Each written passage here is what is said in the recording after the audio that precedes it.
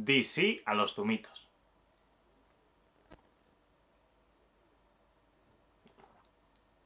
Muy buenas chavales, bienvenidos un día más a mi canal, yo soy Iker y el vídeo de hoy es un vídeo que lleváis ya varias semanas pidiéndome desde que hice este otro vídeo de aquí que si no lo has visto creo que tendrás que ir a verlo para meterte un poco en la temática del vídeo de hoy. La gorra me tapa un poco, pero es que llevo el pelo despeinado, un poquillo, ¿has visto? Sin gorra. Aquí en el ordenador tengo la chuleta de lo que vamos a estar revisando hoy. Ya que en el vídeo anterior estuvimos tocando un montón de temas que produjeron un montón de dudas en vosotros, un montón de preguntas que voy a responder muchas de ellas. Me acuerdo que por Instagram pregunté cuáles eran vuestras dudas y vosotros me contestasteis, así que si no me sigues en Instagram no sé a qué estás esperando, sígueme en Instagram porque por allí estoy siempre muy muy activo. ¿Por qué se ha apagado la luz? Perfecto, pues se ha quedado sin batería la luz. Lo dicho, vamos a continuar con el vídeo. Aquí tengo la chuleta de todo lo que vamos a estar hablando hoy. Lo único que tengo que decir es que si quieres que siga haciendo este tipo de vídeos de esta categoría acerca de la reventa, quiero que este vídeo llegue a 1500 likes. Si es así, seguiremos teniendo vídeos pues un poquito de este tema, ¿vale?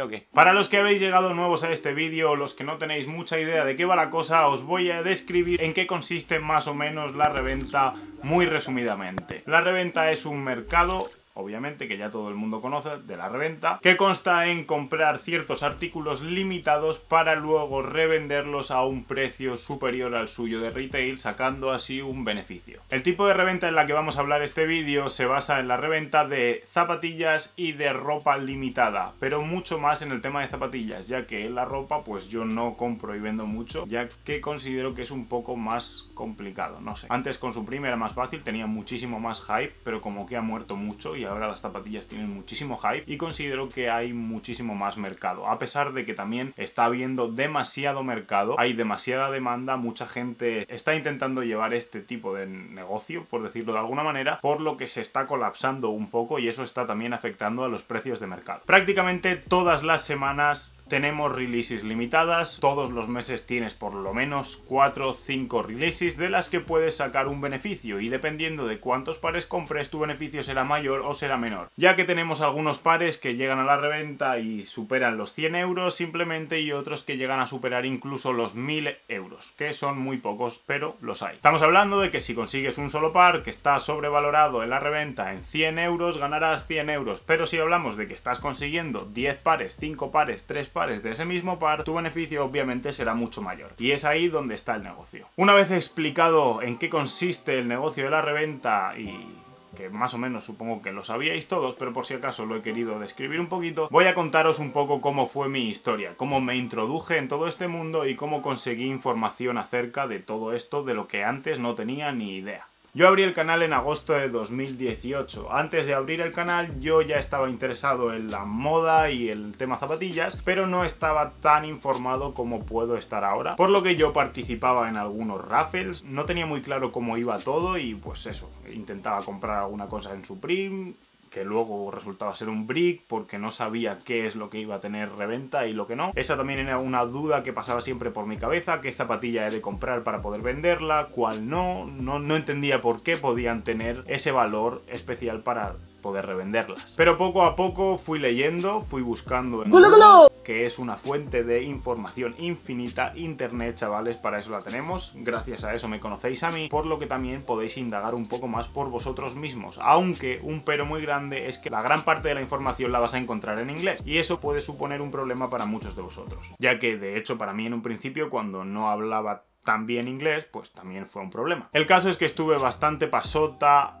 hasta, digamos, este año, aproximadamente en marzo, es cuando me espabilé y vi negocio. Empecé a ver vídeos de 2J Kicks y me enteré bastante más de cómo funcionaba el asunto. Como ya digo, me informé a través de internet y dije, bueno, pues voy a probar a ir a una release en tienda. Tuve la suerte de que aquí en Dinamarca, pues por aquel entonces no se hacía mucho camp out porque hubo una gran movida tocha y pues la gente como que tenía miedo y no se hacían camp out. Entonces yo llegaba y no había gente, podía copiar 4 o 5 pares, la gente en Instagram flipaba y yo también flipaba. Luego ya se han empezado a hacer las listas y se ha normalizado todo otra vez y he visto lo jodida que es la realidad. Que luego entraremos más detalle en eso. El caso es que también empecé a buscar cook groups, al principio entré en uno que era estadounidense, no me sirvió para nada, tiré el dinero, seguí buscando, encontré alguno español, luego europeo, ya sabía hablar inglés, por lo que no me importaba meterme en uno internacional en el que se hablase inglés y tenía más variedad para escoger. Os lo prometo que he estado en por lo menos 15-20 cook groups diferentes, probando y probando y probando, a ver cuál me gusta, a ver en cuál me siento cómodo, porque al fin y al cabo todo es lo mismo. Todos tienen información que liquean de otros grupos y se suele liquear casi siempre al mismo tiempo para que, pues eso, nadie sospeche de quién ha liqueado. Cuando liquean dos o tres, todos empiezan pa pa ¿sabes lo que te quiero decir? Entonces, al fin y al cabo, todo el mundo tiene más o menos la misma información. Lo que importa son el tipo de monitores que tengan por la velocidad de los ATCs y bueno, también pues si tienen algún tipo de backdoor, ese tipo de servicios y sobre todo los group buys es lo más importante. Pero eso es otro tema bastante, bastante extenso. Después de haber estado unas cuantas releases copiando en tienda, ya os digo que empezaron a surgir los problemas con las listas y a raíz de ahí me he frustrado y como que ya no voy tanto a tienda y me busco las castañas para poder intentar pillar manual por Raffle por internet. Ahora luego os estaré explicando algunos tips muy muy básicos que debéis conocer para poder echarle a todas las raffles y en qué webs podéis encontrar las raffles. Pues eso chavales, ha sido más o menos bastante resumida mi historia y ahora voy a estar aclarando muchas dudas que sé que os surgen cada vez que veis un vídeo de este tipo. Una duda muy común es qué tipo de artículo va a tener reventa. Vale, cuando sean zapatillas, si sigues a varias cuentas de Instagram que estén relacionadas con este tipo de contenido, te será mucho más fácil adquirir este tipo de información. No voy a dar cuentas de Instagram porque tampoco quiero promocionar a nadie, pero si te das un paseo por Instagram seguro que vas a encontrar cientos de cuentas que proveen información acerca de nuevas releases que van a surgir pues durante este mes. Para guiarte en qué talla debes ir a comprar o qué zapatilla va a ser, pues de hecho, worth it, que merezca la pena que la compres para revenderla, lo puedes hacer simplemente yéndote a webs como es StockX o Collect. Allí puedes chequear el precio que tiene. Ten en cuenta que si antes de que salga la zapatilla tiene un precio, digamos, 30 euros superior al de retail, cuando salga la zapatilla después va a perder y no vas a poderle sacar dinero a esa zapatilla, por lo que no merecerá la pena comprarla. Básate siempre en los precios que marca StockX, ya que es como el CEO del precio de mercado de, las zapatillas, por decirlo de alguna manera, ya que es la web más transitada y que más ventas realiza de este tipo de artículos. Por lo que cuando quieras vender, básate en lo que te pagaría StockX o si estás muy desesperado por vender y si quieres vender a alguien privado a través de Wallapop o lo que sea, básate en el precio que está marcando StockX para venta. Así que esa es una manera para saber qué tipo de artículo puede merecer la pena para revender, basarte bastante en la información. Toda aquella zapatilla que esté mucho alrededor de Instagram, que la veas mucho por ahí, significa que va a tener reventa. Que si se habla mucho de ella es porque algo pasa con esa zapatilla. Por lo que te recomiendo buscar este tipo de páginas, seguirlas y luego chequear en StockX a ver si merecerá la pena o no comprar ese par. Ahora vamos a hablar del tipo de releases. Bueno, una release es el drop en sí, cuando sale la zapatilla a la venta, el día que sale a la venta. Tenemos tipos de release first come, first serve, significa el primero que viene se la lleva, por decirlo de alguna manera, ya sea en tienda o ya sea online. Y también tenemos raffles, ya sea en tienda o ya sea online. Raffle, ¿qué es? Un sorteo. Un sorteo no es que te vayan a dar la zapatilla gratis, que gente tiene esa duda, pues no es así. Es un raffle para tener, para ganar la posibilidad de poder comprarla. Esa zapatilla nunca va a ser gratis, siempre la vas a tener que pagar os voy a decir algunos de los problemas que vais a encontrar en estos cuatro diferentes métodos de release. Cuando vas a tienda, first come, first serve, vas a encontrar el problema de que vas a tener a mucha gente especulando en la puerta con una lista, una lista que ellos mismos han creado y que ellos controlan. El que la crea la controla y eso está muy muy corrupto. Si no conoces a nadie, si eres nuevo y vas porque sí, vas a estar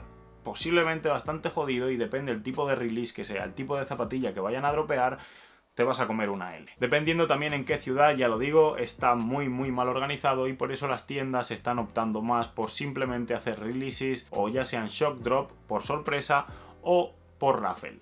O por raffle y por sorpresa. O sea, lo están poniendo jodido. Por lo que el ir a comprar a una tienda en First Come First Serve si no conoces a nadie no es realmente una opción muy buena, ya que también hay gente que se pasa acampando incluso 2, 3 y 4 días por una zapatilla. Si la quieres para ti, para personal, vea por ella, porque es algo que de verdad quieres, pero para ganar 300 euros considera y valora el estar 3 días durmiendo en la calle por 300 euros, por ejemplo. Yo no lo haría Otro método de first come, first serve es online. Ahí también estamos jodidos a no ser de que tengas bots o cuentes con monitores rápidos en tu cook ya que la gran mayoría de las webs están pues no muy protegidas y los bots las revientan. Hay cientos de bots en el mercado y muchos con mucho mucho success, tienen mucho éxito por lo que el copiar manualmente en first come first a día de hoy es prácticamente imposible. Otro sistema de tienda era el raffle en tienda. Este consiste en que tienes que ya sea de manera online de manera física tienes que mandar un formulario o ir a tienda y rellenar un formulario con tus datos inscribiéndote a un sorteo. Y si te toca te contactarían para que fueses a tienda a recoger ese par. O para que des tu dirección y te la envíen. Dependiendo qué tienda ofrecen servicios de raffle online para todo el mundo, solo para Europa o solo para España. Si controlas un poco y tienes tema de VPN, sabes cambiar el GPS, tienes direcciones o reshippers, que ya digo es bastante extenso, puedes llegar a copiar pares de otros países o de otros continentes sin la necesidad de estar allí físicamente, hablando, claro. Y por último, que lo he incluido más o menos en este, es la Raffle Online, ya que muchas webs no ofrecen el servicio de pickup en tienda y solo ofrecen el servicio de Raffle Online. Aunque últimamente el tema de raffles también se está complicando mucho, ya que también están surgiendo muchos bots para raffles, que lo que hacen es que tú compras pues cuentas de Instagram, Gmails, tienes direcciones, tarjetas de crédito y pues el bot te hace un mix ahí bueno, un cóctel, te saca un montón de direcciones y participaciones en diferentes webs, por lo que seguramente ganes más de una raffle dependiendo cuántas entradas metas y todo eso. Pero eso también son cosas de bots mucho, mucho más extenso que yo todavía no piloto lo suficiente como para ponerme a explicar aquí, ¿sabes? Pero bueno, a pesar de todo esto, algunos consejos básicos que os puedo dar para copiar mediante Raffle es que hagáis lo mismo que haría un bot, pero de manera física, ya que sería mucho más legítimo y Nike, por ejemplo, en los drops de Nike, pues no te banearían. Lo que puedes hacer es hablar con todos tus amigos, familiares y pedirles por favor que se descarguen la app y que metan una participación a esa zapatilla. Ellos tendrán que poner su tarjeta de crédito y ser mayores de 18 años. Aunque si eres menor y tus padres te dejan su tarjeta de crédito, pues puedes hacerlo también. Pero siempre con el consentimiento de tus padres si eres menor. No gastes dinero sin su consentimiento. Lo único que tienen que hacer es participar y si son ganadores les llegará la zapatilla y lo que tienes que hacer tú pues es venderla, que luego estaré explicando cómo podéis vender este tipo de productos. Estoy seco.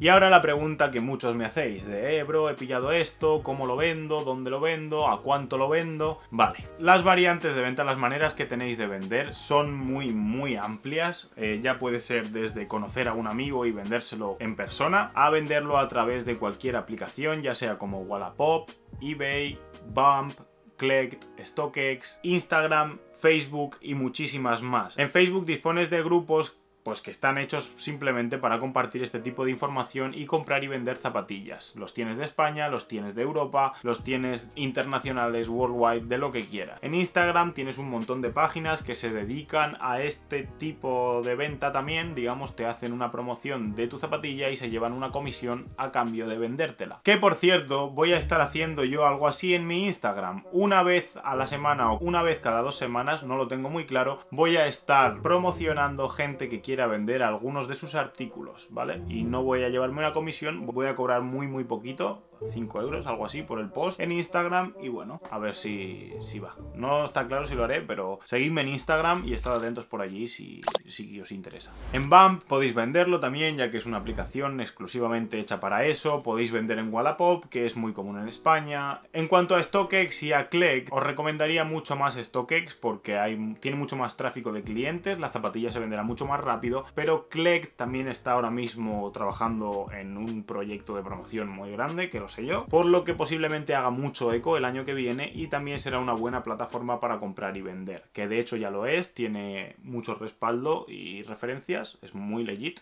Pero de momento os aconsejaría StockX porque todo va mucho más rápido. Y han bajado las fees si queréis comprar, que eso está muy bien. Y para vender, pues no está mal del todo. Si estáis en algún cook group, también disponen de Marketplace en el que podrás comprar y vender artículos que te interesen. Lo podrás anunciar y si alguien te dice algo, pues suerte la tuya. Como todo producto que se tiene que vender es perseverancia y tener clientela y contactos. Y si no, pues puedes ir directamente a este tipo de webs como StockX y Click, que te van a facilitar mucho las cosas si no tienes ese tipo de contactos. Que eso, se me olvidaba, pero también hay personas que se dedican a esto, que compran en cantidades grandes cualquier talla de un par específico. Te van a pagar lo mismo que StockX, solo que el dinero lo tendrás en mano y es pues mucho más rápido y más fácil que si lo tienes que recibir a través de PayPal, etc. Esta gente normalmente suelen ser chinos, aunque también, aunque también hay bastante español que está haciendo esto ahora, me refiero por Madrid y tal, por ejemplo. Pero bueno, los chinos siempre pagan muy bien, porque el mercado asiático ahora está un poco roto, pero normalmente es más alto. Y ya está, lo que he dicho, para basar el precio de vuestro producto, StockX, eso es la clave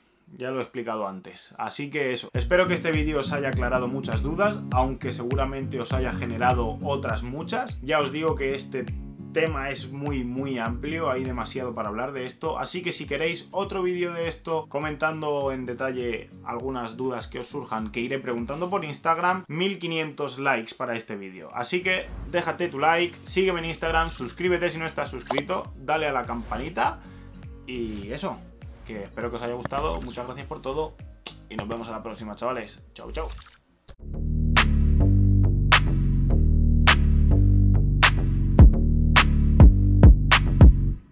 No sabes quién soy yo, suscribe. No sabes quién soy yo, suscribe, suscribe. No sabes quién soy yo, soy Fashion Horror, suscribe.